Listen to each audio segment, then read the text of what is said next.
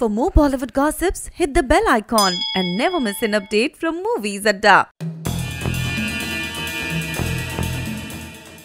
बॉलीवुड के रिलेशनशिप्स कई बार काफ़ी वॉलेटाइल होते हैं मगर फिर भी इस इंडस्ट्री में प्यार की कमी नहीं है। तीन साल पहले क्यूपिड के तीर से टाइगर श्रॉफ और दिशा पाटनी घायल हुए थे और तब से इन दोनों का रिलेशनशिप कायम रहा। इन तीन सालों में इन दोनों को कई बार एक साथ स्पॉट भी किया गया। मगर इन्होंने अब तक अपने रिलेशनशिप का कोई ऑफिशियल अनाउंसमेंट नहीं किया।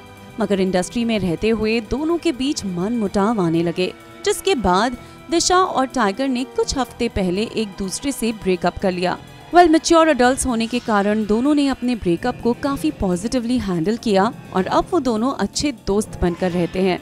वेल well, जहाँ कपल्स ब्रेकअप के बाद एक दूसरे को नीचा दिखाने का कोई मौका नहीं छोड़ते वहीं दिशा और टाइगर जिस मेचोरिटी से अपने ब्रेकअप को हैंडल कर रहे हैं ये देखकर तो हम सब काफ़ी इम्प्रेस्ड हैं।